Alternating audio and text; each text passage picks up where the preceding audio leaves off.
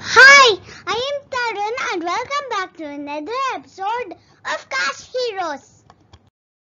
And today, let's learn a new word and its meaning and how to use that word in a sentence. The word is sob. Sob means crying loudly.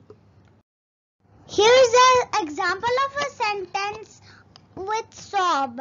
We should never sob when we lose the game like this unicorn. You you should have resilience in you. Resilience means not giving up. When we get hurt, we sob.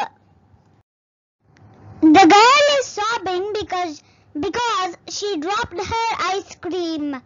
Silly girl, right? The boy doesn't want to go to school, so he's sobbing.